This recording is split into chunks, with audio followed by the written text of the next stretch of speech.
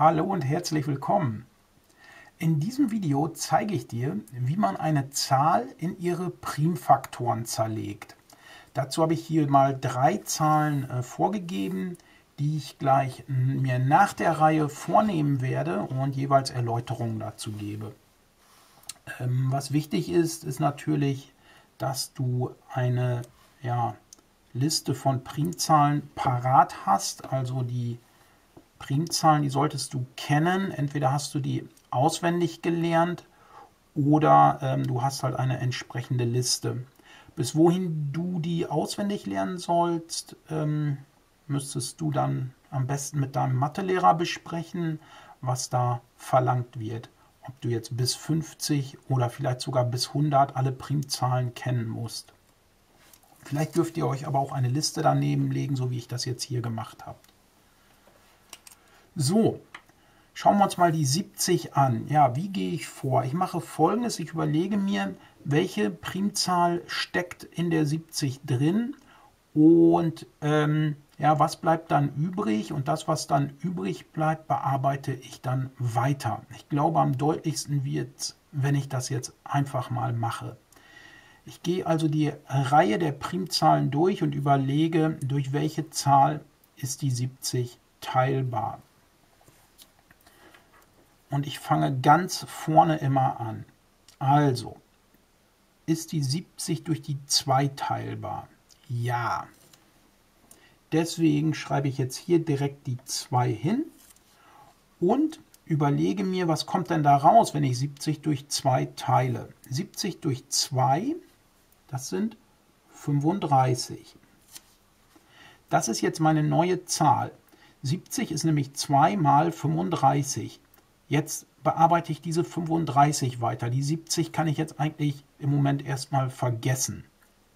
Jetzt schaue ich mir die 35 an und überlege wieder von vorne anfangend, ist die 35 durch 2 teilbar? Nein.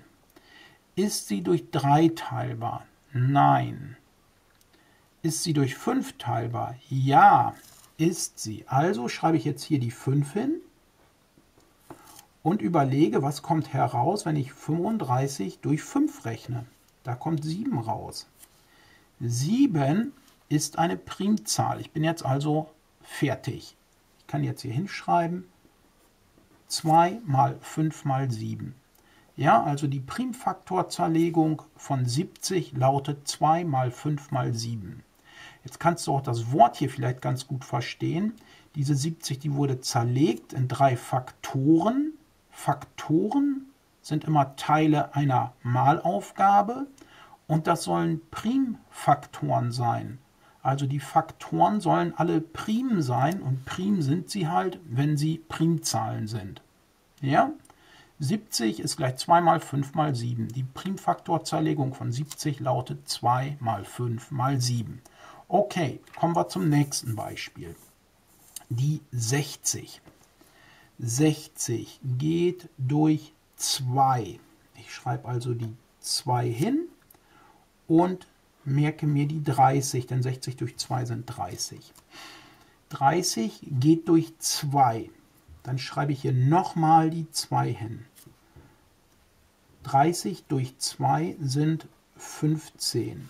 15 geht nicht durch 2, aber geht durch 3. Also kommt hier die 3 hin und 15 durch 3 sind 5. 5 ist eine Primzahl. Ich bin fertig. Ja, die Primfaktorzerlegung von 60 lautet 2 mal 2 mal 3 mal 5. Es kann sein, dass von dir verlangt wird, dass du das dann in Potenzschreibweise noch angibst. Das würde bedeuten, dass du hier die gleichen Faktoren als Potenz schreibst. 2 mal 2 ist ja das gleiche wie 2 hoch 2. Ja, also wäre das dann 2 hoch 2 mal 3 mal 5. Auch das solltest du dann mit deinem Mathelehrer klären, ob diese Schreibweise reicht oder ob du das auch in der sogenannten Potenzschreibweise angeben musst. Gut, dann haben wir das Beispiel auch fertig. Und das dritte Beispiel, da habe ich mal eine etwas größere Zahl genommen. Aber auch da werden wir gleich sehen, das ist durchaus machbar. 234 geht durch 2. Auf jeden Fall. Das ist nämlich eine gerade Zahl. 234 geteilt durch 2, das sind 117. 117 geht nicht durch 2, könnte eventuell durch 3 gehen. Die Teilbarkeitsregeln solltest du eigentlich jetzt vor kurzer Zeit dann gehabt haben. Teilbarkeit durch 3 mal eben überprüfen. 1 plus 1 plus 7 sind 9 und 9 ist durch 3 teilbar. Also ist 117 ebenfalls durch 3 teilbar. Also geht das durch 3. Jetzt müssen wir nur noch überlegen, was kommt da raus. 117 durch 3.